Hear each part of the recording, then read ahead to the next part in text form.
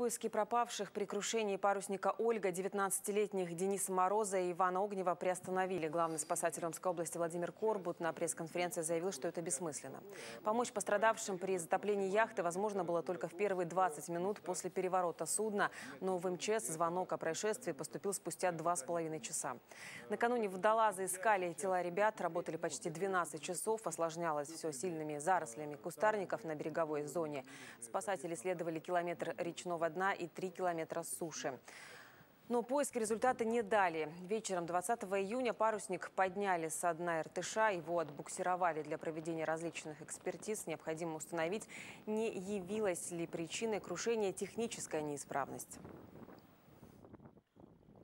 Двигались они не под парусом, а, э, соответственно, на э, моторном ходу. То есть э, не было паруса, потому что если бы парус, там могло бы завихрение воздуха, резкий порыв и, соответственно, могло бы произойти э, опрокидывание. Есть такие понятия, допустим, если люди встали на один борт э, для того, чтобы быстро повернулась лодка вправо или влево, э, соответственно, вот э, тоже сейчас разбирается, но очевиднее всего, что была перегрузка на один борт э, людей и произошло опрокидывание. В другом случае яхту очень сложно опрокинуть, э, э, тем более без паруса.